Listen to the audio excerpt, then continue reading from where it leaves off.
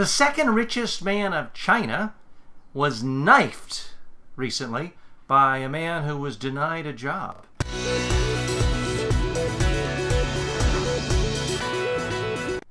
Folks, I'm not advocating violence in any way. But the world's wealthy need to pay attention to this. This guy was chairman of a food and beverage giant, was fabulously wealthy, turned down a gentleman looking for a job, and the guy apparently snapped and knifed him. Again, I'm not advocating violence.